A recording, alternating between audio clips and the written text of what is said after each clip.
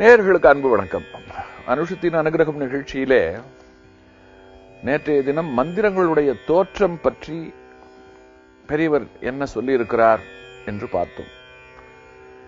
எந்த ஒரு மந்திரமும் அது விஷ்ணு சகசரநாமமாக இருந்தாலும் சரி லலிதா சகசரநாமமாக இருந்தாலும் சரி மற்றும் வேதங்களில் காணப்படுகின்ற வேத மந்திரங்களாகட்டும் எத்தனையோ மந்திரங்கள் இருக்கின்றன. அதில் சில மந்திரங்கள் காலத்தால் தோற்றுவிக்கப்பட்டன. ஆனால் வேத மந்திரங்கள் தோற்றுவிக்கப்பட்டவை அல்ல. இந்த உலகம் தோன்றுவதற்கு முன்பே அது தோன்றிவிட்டது. முதலில் வேதம் தோன்றியது சப்தம் தோன்றியது அதற்கு பிறகு பிரபஞ்சம் தோன்றியது பூமி தோன்றியது. ஒலியை படைத்து விட்டுத்தான் பிறகு ஒளிக்கு பிரதானமான உலகத்தை இறைவன் படைத்தான் என்று சொல்லுகின்ற மகா பெரியவர் அவர்கள் அந்த வேதத்தை முனிவர்கள் தங்கள் யோக சக்தியினாலே ஆழ்ந்த அமைதிக்கு சென்று தங்கள் காதால் கேட்டு பிறகு எழுதி இந்த உலகத்திற்கு நாம் நாம் நாம் பயன்படுத்துவதற்காக நமக்கு தந்தார்கள். அதனால அவர்களுக்கு மந்திர திரஷ்டா என்று பெயர் என்று கூறுகிறார். அப்படி சொன்னதோடு மந்திரங்களுடைய சக்தி தொடர்பாக இன்னும் பல அரிய செய்திகளை எல்லாம் அவர் தான் வாழ்ந்த காலத்திலே மக்களை சந்தித்து பேசுகின்ற கட்டங்களிலே உபதேசம் செய்கின்ற இடங்களிலே சொற்பொழிவாற்றுகின்ற தருணங்களில் எல்லாம் அவர் சொல்லி இருக்கிறார் அப்படி அவர் சொல்ல போய் அதை பதிவு செய்து வைத்துக் கொண்டதன் காரணமாகத்தான் இன்றைக்கு இந்த நிகழ்ச்சியில் எல்லாம் என் போன்றவர்களால் பேச முடிகிறது. குறிப்பாக எந்த ஒரு விஷயமுமே இரண்டு தன்மை கொண்டதாக இருக்கும். இரண்டு தன்மை ஒரு விஷயத்திற்கு இரண்டு தன்மை உண்டுது. அதை சுருக்கமாக சொல்லலாம் என்று சொன்னால் நல்லது கெட்டது என்று அந்த இரண்டுக்குள்ள அடக்கி விடலாம்.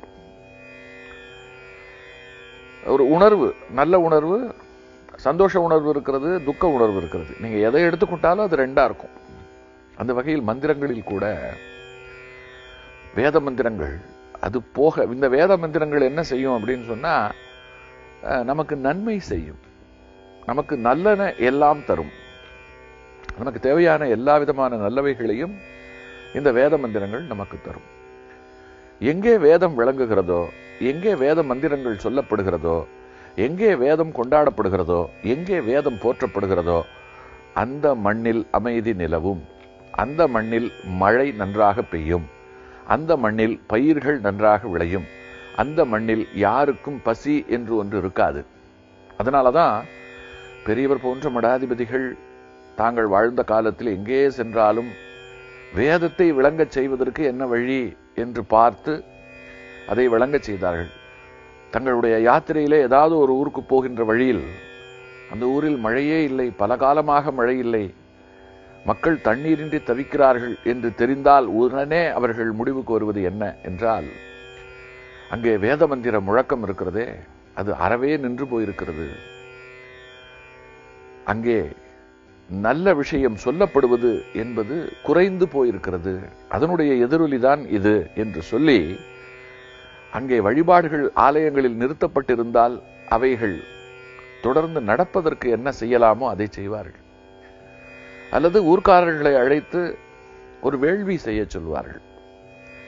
வருட ஜபம் ஜபிக்க சொல்லுவார்கள். இதில் மந்திரங்கள் சொல்லப்பட்டு அந்த மந்திரங்கள் சப்தாகாசத்தை மேலே அடைந்து அதன் காரணமாக மெல்லிய அதிர்வு ஏற்பட்டு அந்த அதிர்வு காரணமாக மழை மேகங்கள் கவர்ந்து இழுக்கப்பட்டு ஒரு சகஜ நிலை உருவாகி நல்ல மழை பெய்யும். ஒரு கோணத்தில் இவை அத்தனையும் விஞ்ஞானம். இதில் எந்த ஒரு பொய் பொருட்டுக்கும் எந்த ஒரு அவநம்பிக்கைக்கும் அச்சப்படுவதற்கும் இதில் எதுவுமே கிடையாது. இது வந்து இது ஒரு வகை விஞ்ஞானம். இதுதான் விஞ்ஞானம். இப்படிதான் விஞ்ஞானம் இயங்குகிறது.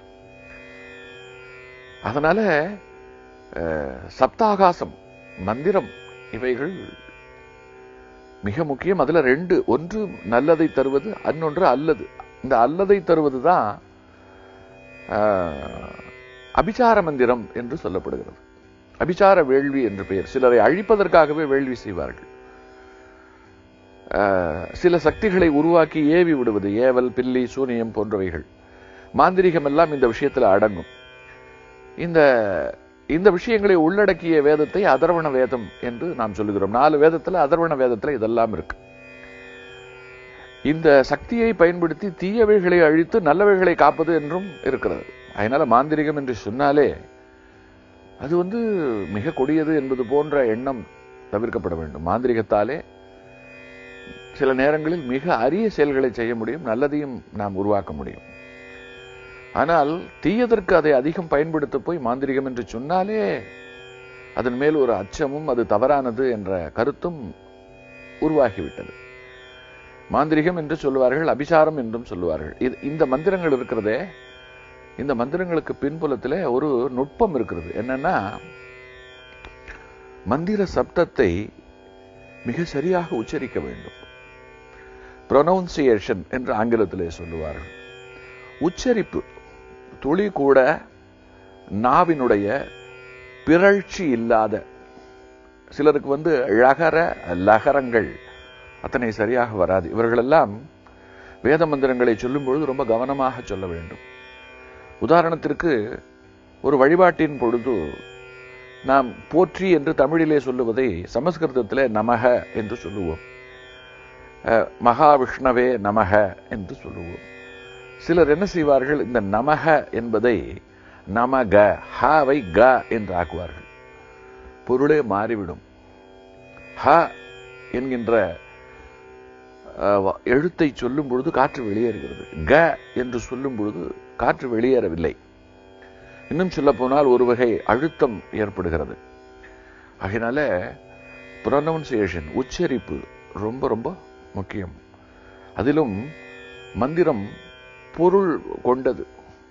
பொருள் கொண்ட ஒரு விஷயத்தை நாம் மிகச் சரியாக சொல்ல வேண்டும். இப்பொழுது ஆங்கிலத்திலே நோ என்று ஒரு சொல் என்ஓ நோ என்று ஒரு சொல் இருக்கிறது. கே என்ஓ டபிள்யூ என்று ஒன்று இருக்கிறது. ஒரு நோவுக்கு பொருள் இல்லை.